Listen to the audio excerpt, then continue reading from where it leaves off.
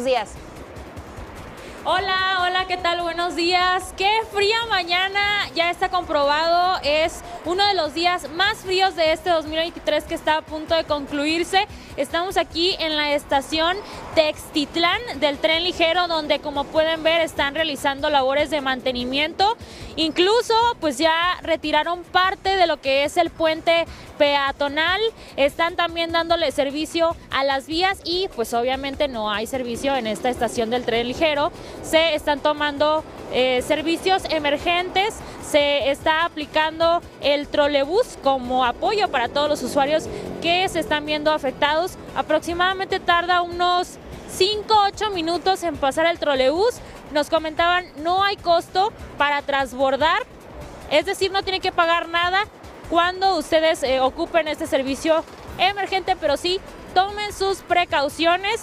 Será hasta el 30 de diciembre que eh, supuestamente se terminan estas labores de mantenimiento, pero es muy probable que tarden más porque, bueno, lo que estamos viendo es que falta una parte del puente, seguramente esto va a tomar un poco más. Hay que estar muy pendientes y tomar pues todas las medidas para llegar a tiempo a su destino.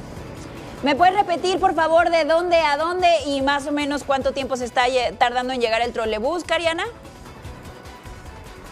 La estación cerrada es Textitlán del tren ligero y el trolebús está apoyando a los usuarios que van de Tasqueña a Estadio Azteca. Hemos estado observando que pasan entre los 5, 8 minutos, pero bueno, ya saben, a ciertas horas puede tardar más y esto, aunque sea una pequeña diferencia en lo que caminas, trasbordas, pues puede afectar, por supuesto, a los usuarios.